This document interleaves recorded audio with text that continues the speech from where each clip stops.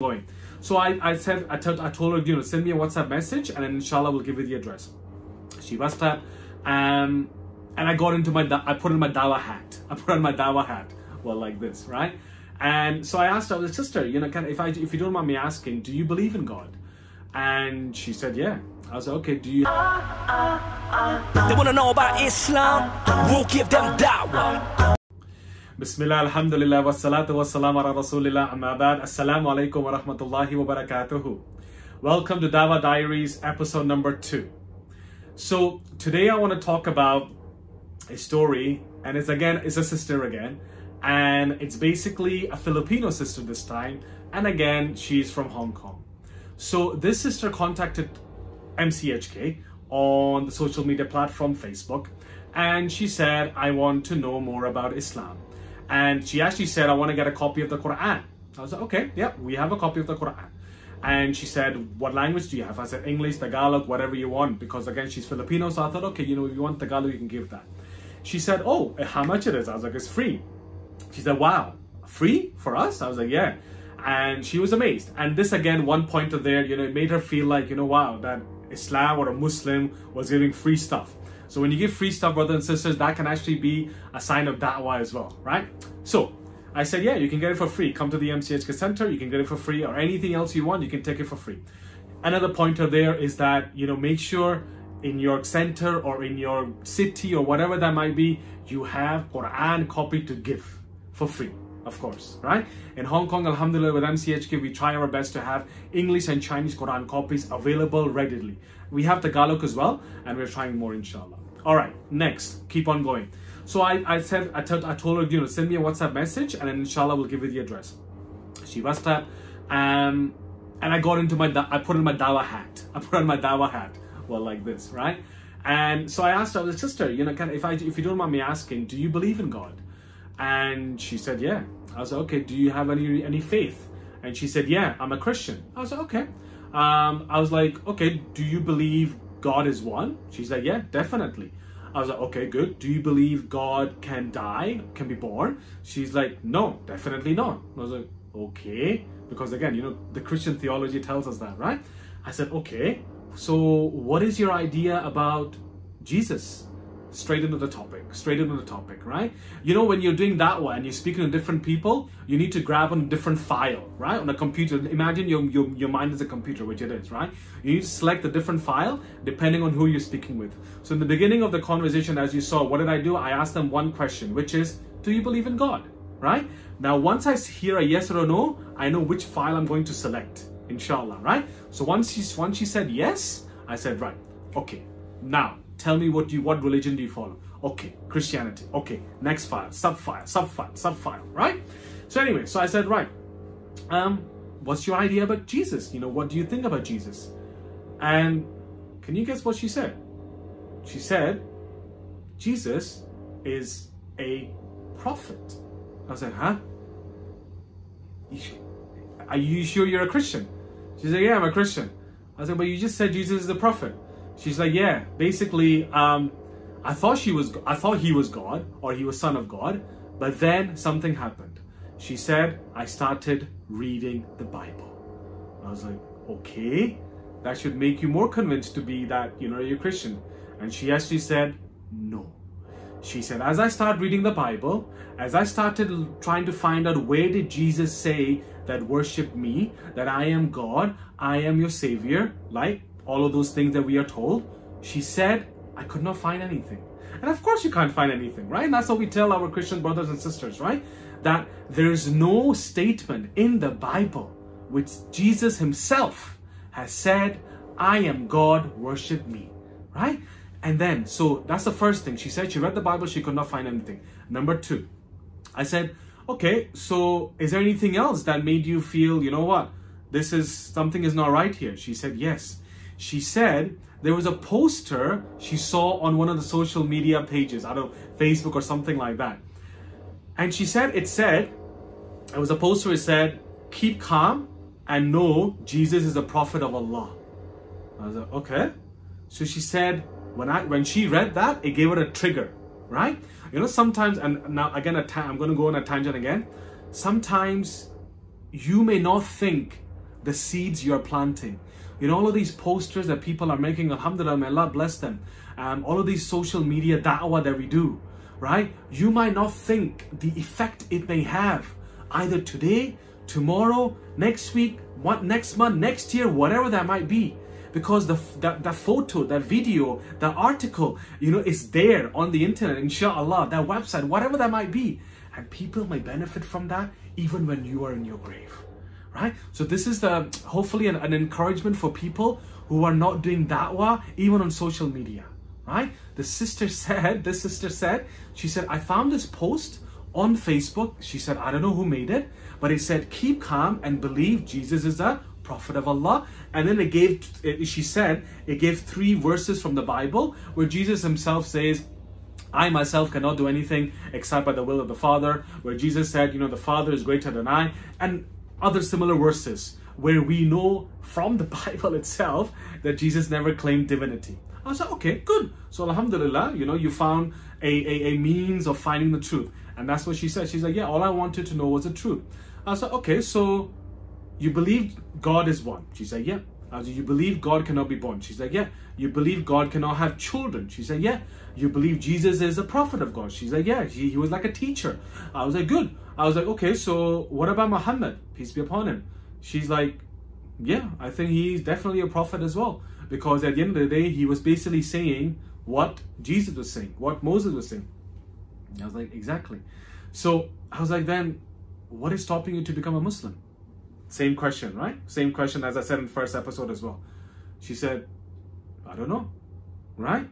And I said, well, you know, what if I help you to become a Muslim? She's like, how do I become like that? I was like, you just need to say one statement and that's it. Once you say that statement, it's called a shahada. Once you say that statement, you enter the fold of Islam right? And once you enter Islam, then of course you can develop and you can learn and you can continue to progress as a Muslim. And this is on WhatsApp, of course, and she started getting a bit emotional. She's like, Really, I can do that? I was like, Of course. So I said, Look, give me a call and inshallah we'll do this, right?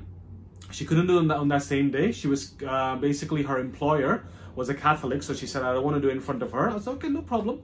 You know, give us a call when you're able to do so. So the next day she called us and, uh, you know, spoke to her on the phone. I went through all the six articles of faith, and this is very important as well. When you're trying to give someone, you know, trying to help someone to become a Muslim, one of the main thing you need to do is go through the six articles of faith, right? Because that's the articles of faith. You know, going through the five pillars of Islam, it's not necessary right now. The most important thing is go through the six articles of faith, right? So you ask them about God, you believe in that, all of that attributes, whatnot. Um, Yes, yes, yes, yes, yes. Good. You go to the prophets, good. Go to the scriptures, good. Go to the angels, good. Go to the day of judgment, good. Go to the predestiny, good. And then, of course, Alhamdulillah, you make them say the Shahada. Did the sister say the Shahada? Yes, she did. She said, Ashhadu la ilaha illallah wa ashhadu anna Muhammadur Rasulullah. Subhanallah. Takbir, Allahu Akbar. And what was her reaction after that? Again on the phone, she started crying. She started crying right? And I could hear her, of course. And, you know, Alhamdulillah, those who are involved in da'wah, you know, no matter how many times you help someone to become a Muslim, that reaction at that moment is priceless.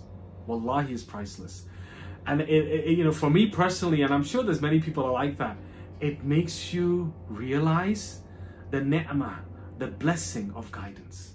You know, people like myself, we were born to Muslim families and you know, we didn't really have to search for guidance, even though we do, we do definitely, you know. Um, you could be born to a Muslim family and not follow the religion. There are many like them. May Allah protect us from that, especially our youth. May Allah protect them definitely from all the fitnas that are surrounding and the people leaving Islam, especially the youth, right? Because of different reasons, because of different reasons. But one of the biggest reasons, of course, is lack of knowledge. There's nothing, there could be factors, but the biggest one is lack of knowledge, right? And so, you know, she started crying and I said, How are you feeling, sister? And she said, I just feel thankful. I just feel thankful. I'm like, Alhamdulillah. And of course, I told her about, you know, and this is something that you can do, of course, is that, and, and they always give them uh, extra, you know, good feeling. You give them the, the hadith of the Prophet Wasallam, where he said that, you know, every single person is born as a Muslim and it's the parents or whatnot that makes them a Christian, Jew, or, or other religion. Um, and when that person comes back to Islam or reverts back to Islam, Allah subhanahu wa ta'ala forgives all of the sins of the past. Right? And then you tell them you're like a newborn baby. And that makes them even more emotional. That softens the heart even more. Not just that, Allah subhanahu wa ta'ala, out of His mercy, out of His love, He converts the bad deeds into good deeds. Right? Subhanallah. Um, so she was really inspired, and of course, I was inspired. And then, of course, and this is so that's done. Now we go to the second stage, which is supporting the new Muslim as well. And this is again, brothers and sisters, an advice to everyone. You know, we shouldn't just rely, we shouldn't just think, you know what, the Islamic Center will help the new Muslim, that masjid will help the new Muslim. Why not all of us? You know, all of us who are Muslims, of course, why not we take some responsibility to help the non, the, to help the new Muslims? right? Because they need that brotherhood. They need that sisterhood. It's not just about Ashhadu la ilaha illallah Muhammad Rasulullah and then takbir, Allahu Akbar, hug, hug, hug, welcome to Islam, Alhamdulillah, right? That's not taking care of the new Muslims, you know? Um, so anyway, for, for, the sister, I told her, look sister, you can come to the center, the MCHK center, collect some free information from us. I'll share some video with you, useful information about how to pray, um, some booklets about how to pray, and also the website which is called New Muslim Guide, a very good website, and it gives you about different categories, you know, about the clothing of the Muslim, the food of the Muslim, the, the, the manners of the Muslim, so different things I said you, you can learn from step by step by step. The other thing that we do also is I put, I, you know, I make her connect to sisters, of course. If it's a sister, connect to sisters. If it's a brother, myself or anybody else can obviously to share the brotherhood.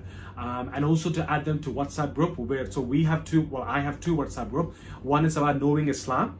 Um, so that's anybody and we, we put reminders there. And then there's another WhatsApp group which is called a community WhatsApp group where you know we have a brothers group and we have a sisters group. And again you know the brothers and sisters in their own group they can share things they can ask questions they can you know just to feel there's a brotherhood and sister a virtual brother and sisterhood right? Alhamdulillah. Um, but again she appreciated that and uh, alhamdulillah of course she came the next day. She got the, the, the certificate from us as well which she was surprised by. You know we give certificates of shahada as well. And the reason we give that is because mainly of two reasons. Number one you know if she was to pass away when she was to pass away you know we can show that you know she was a muslim. Number two when she goes on hajj um, again she can prove she's a muslim and for any other reason, marriage or whatnot. You know, there's many reasons why you may need the Shahada certificate.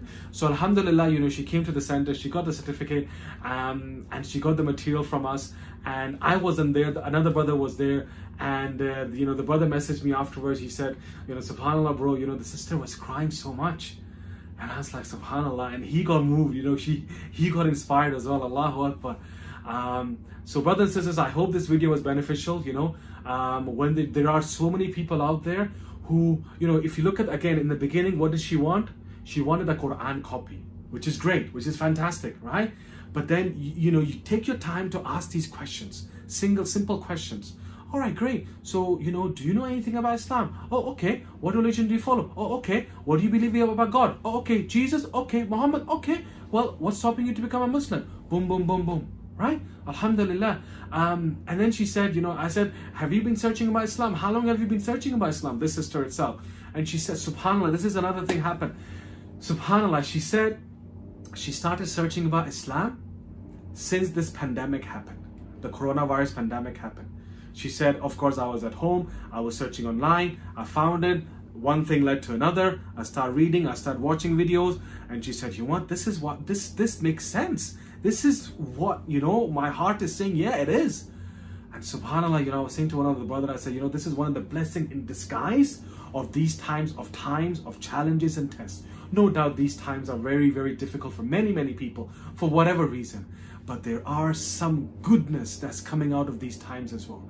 And this is one of that goodness. You know, she, she said, look, if this pandemic didn't happen, I mean, Allah knows best, of course, but you know, she couldn't, she, she didn't say this, but if this pandemic didn't happen, she may not have the time to search, right? And she would have just continued doing what she was doing. So Alhamdulillah, always believe in the in, in, in the qadr of Allah, that every single thing happens by the will of Allah, and it's about trying to find the blessings in these times, and of course putting that into goodness for us. I ask Allah subhanahu wa ta'ala, and we should ask Allah subhanahu wa ta'ala that He keeps this sister and all of the new Muslims steadfast upon the right right way, and all of us in general as well. Mustaqim. And we ask Allah subhanahu wa ta'ala to guide her family and all of the new Muslims' families to Islam because as we know, there's nothing better than when your family is upon guidance as well. Ameen Ya Rab. Jazakallah khair. Make sure you share the video if you like it. I'm sure you liked it. And make sure you subscribe to the channel. Barakallahu fi. Subhanakallahumma wa hamdik. Nashhadu la ilaha illa ant. Nastaghfiruka wa natubu ilayk. Assalamu alaikum wa rahmatullahi wa barakatuhu.